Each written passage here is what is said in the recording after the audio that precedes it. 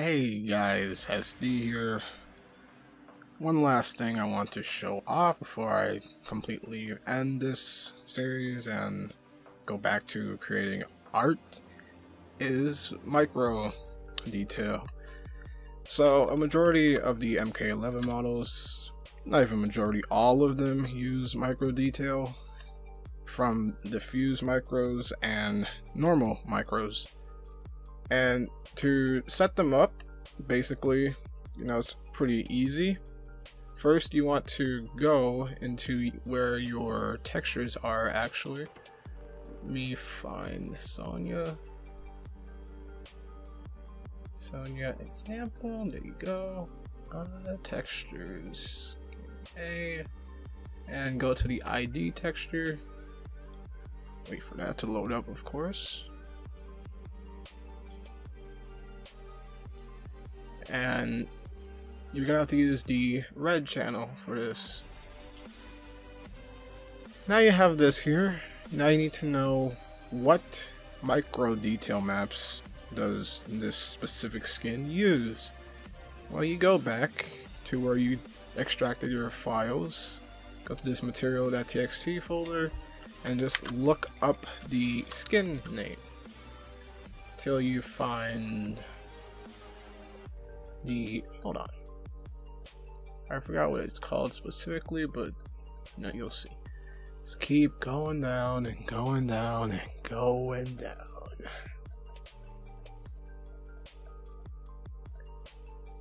Right. Should be right here? No. Right, there's uh, two different skins.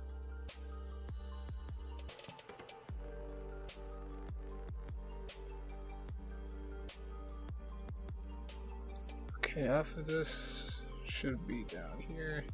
Right. The arrays. These are all the micro normals. So Sonya here is using wool, ripstop, silk, burlap, leather, metal, rubber, more burlap, and more leather. Pass through are basically overrides. So according to this, this is how much, no, this is the map that's used for these micro maps, all right here. So the first pass through would be where the skin is actually, so over here. Let me go ahead and select that to show it off over here. This would be pass through. And then the next area would be wool, I'm pretty sure. Yeah, wool 06. This goes here. So what I usually do is I basically set up black and white colors first and select this, add a layer mask, transfer layers alpha channel, and just remove things by making the layer mask black. Because obviously I'm not using that.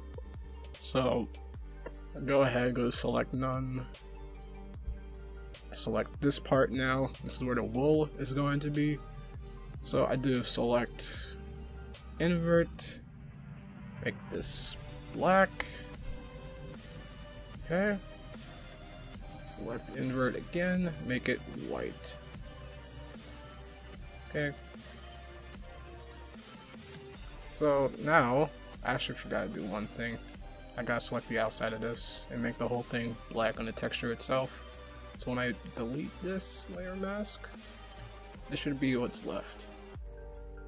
Now I should export and call this sun skin A. What was it? Wool mask? Okay, export that. Let me see which texture. Wool 06 is what she uses. So let me go ahead into my material library folder down here, textures, another convert file, and I'm going to take two. Micronormal silk and wool 06. I'm not going to show off every single one, it would take too long, so I'm going to take the silk micros and the wool 06 micros down here You don't need to use every single one of them. I'm only going to use two for each. But I don't know which one is the highest resolution, so I'm just taking them all in. Over here. Uh, where are you? Right here. Okay. Over here. Convert. Batch process once again. DDS TGA. Get my path back. Okay folder batch, convert. Dunzo. Got that here. Put that back over here. So it merges in with this one. There we go. Now I'm gonna go back to Blender. Select whatever part of the model, doesn't really matter because it's only gonna be mapped over here. Pull this out a bit because I'm just preparing myself for doing even more edits in the future. Take this down and check this out again. It's wool 06 bottom macro.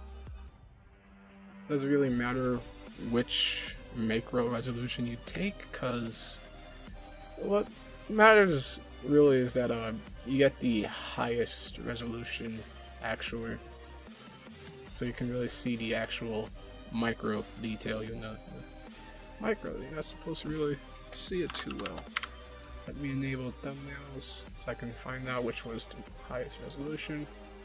It seems like this is, not so much this, this. Yeah, this one, okay. So that's non-color. Get a UV map node and a mapping node. Vector mapping Put that here.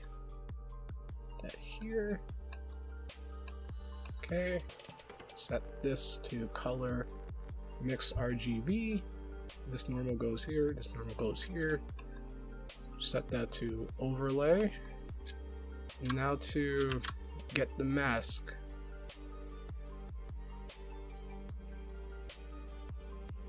Final texture skin A is our wool mask. Okay, now to put it right here. Nothing seems to be here so far. Let's change that to specular light. Now scale the normal map. There's our wool. It's beginning to show up now. Okay, let's set that to 200. Maybe 300? Yeah, 300 seems good enough. Alright. Now to do a couple more things.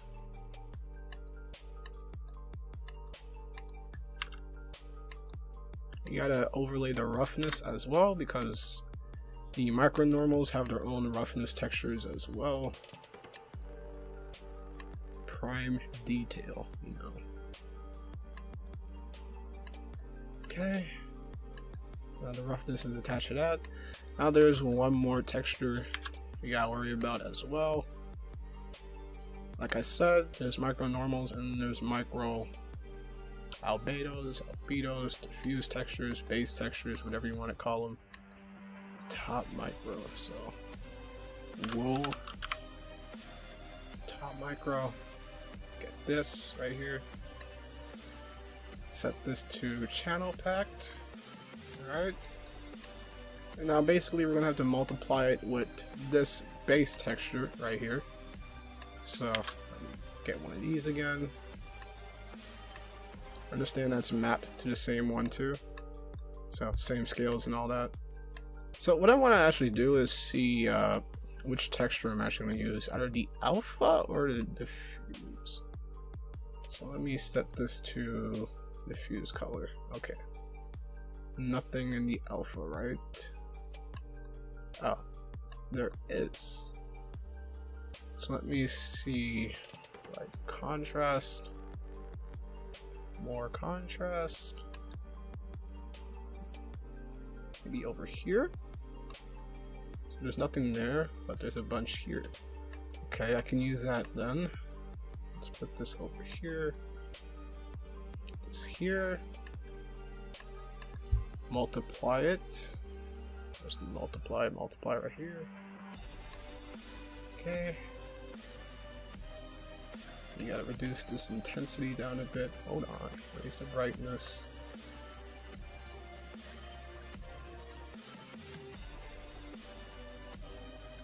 Wait, let me see it for this one. I'm always like mixing and matching, see which one's actually right.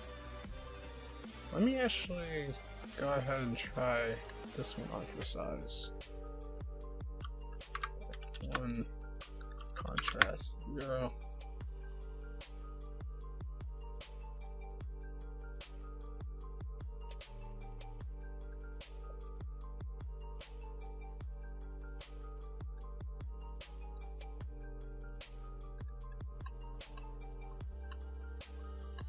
Hmm. Very small difference. Let me go back to this one. Set that back to the default values. Okay. Here's the contrast. Gotta make sure it isn't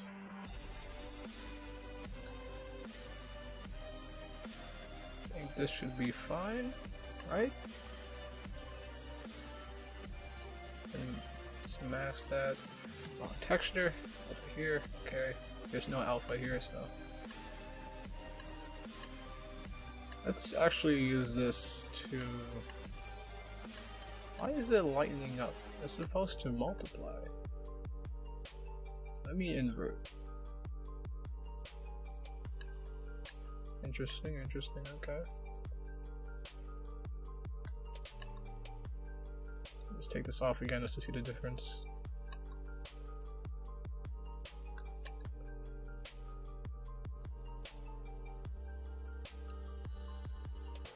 Okay, now I think I finally got it. So, mask this, alright. Now there's both micro detail and a micro normal applied. Go. You can very visibly see it now. Let's say that I apparently thought this was too much, so let me raise it down. Both should manipulate themselves in good enough fashion. No issues there. Okay, so I'm gonna keep it at a midline between 300 and 200, and let's keep it at 250. I think this is good enough now. Okay. And, okay, you don't necessarily need a mask all the time. Let's say you've got a independent part like silk or metal, you can just go ahead and uh, do the same mapping method. So let me just copy and paste all of these. Let me get this to copy and drag this back, paste. All right. You get the silk now. Which one was it? Silk 01.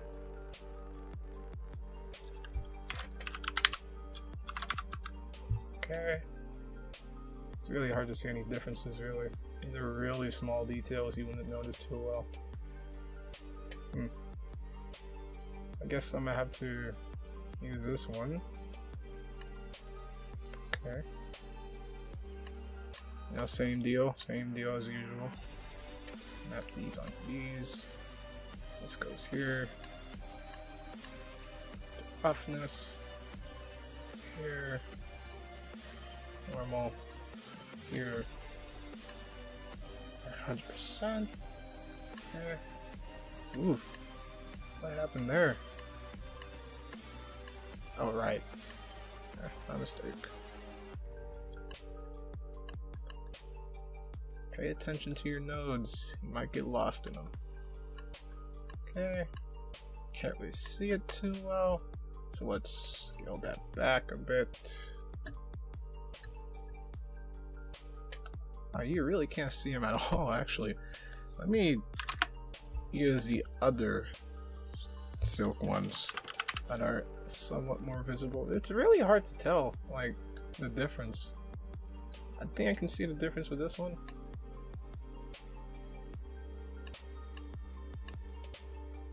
I mean, kind of. Not really. See it now, mostly. I'm gonna set that to like 50. Okay.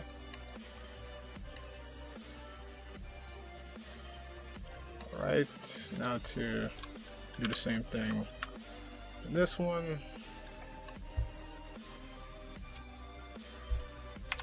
Soak this out. Set this to non-color as well. Color mix. And fuse color. multiply. You don't want it multiplying that much, so let's raise this back to its defaults.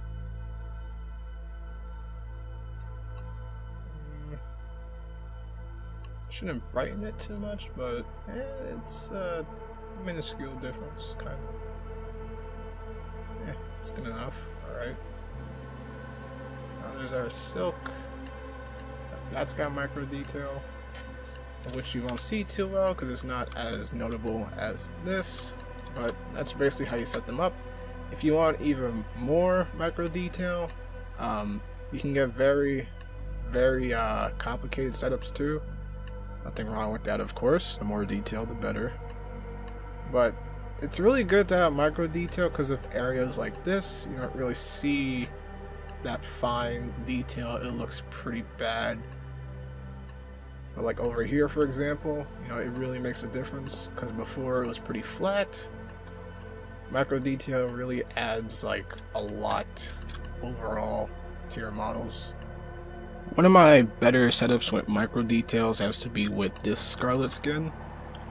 Um, you know, it's really hard to notice because there's a lot of black here. But if I were to zoom into this area, this is all micro leather detail. You can see the individual bumps of the leather. Over here, I think this is plastic micros. Kinda hard to tell, really. Every individual scratch is down here. Then over here is the same deal. It's a bunch of micro detail. It's a bunch of micro detail over here as well. It really makes it uh, pop out, especially when you do like high resolution renders, because if you don't have any micro detail, it kind of looks very, uh, how do I say this, soft overall. Like down by the velvet loincloth is all micro detail. If I were to go in her shader, you'd see I'd have a very complicated setup. It's a bunch of different normals mostly because the diffuse textures didn't really make that much of a difference. So, yeah, that's all I wanted to show off. Um, I guess I'm kind of done with this series. If there's any questions, you know, feel free to ask me. I don't mind. I don't really get that many questions. So, I hope someone learned something. And, uh, yeah. See you guys some other time. Oh, I just want just want to show off one thing. And this micro detail right here too. Yeah.